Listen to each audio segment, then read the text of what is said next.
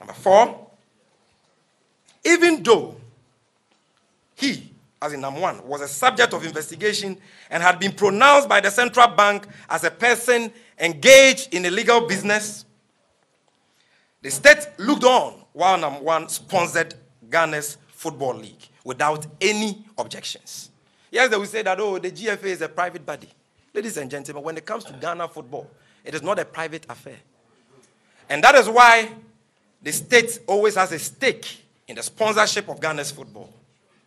So, at least our government, our president, government officials who we pay with our taxpayers' money, with our, you know, taxes, sorry, to protect us from crime, should have at least raised objections with the sponsorship of Ghana's Football League by NAM1, knowing very well that he was a subject of investigations by central bank.